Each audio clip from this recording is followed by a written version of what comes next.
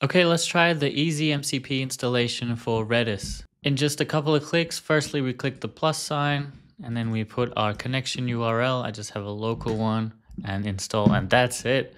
We have it here installed, ready to go. After it initializes, it will say all the tools it has 44 tools, quite a lot of tools here. And now we can just chat with our agent in the project. Make sure you're on agent auto mode. I'm to say fill this Redis DB with dummy data. Whoops, I misspelled data, but agent's smart enough to know what I mean.